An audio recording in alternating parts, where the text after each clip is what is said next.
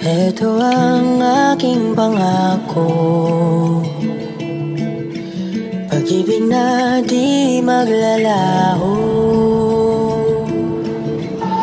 To be patient, to be kind and to be true. To love and to be loved by Ay, yura, yura, yura, Jella Marquez may kwento about Don Bell na hinding-hindi niya raw makakalimutan. Sa niya, nung niyaya ni Donnie si Bell Mariano, February 14 yon. Valentine's Day, pero nasa lock-in taping kami noon.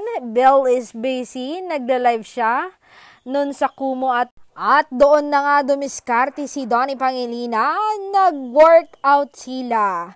Kumain at ang nakakagulat ay yung pa-flowers ni Donnie. Nakaplano na ang lahat, iba kong dumiskarte. Matagal na ito pero kinikilig pa rin ako dahil dito ko nakita na that he is really into her.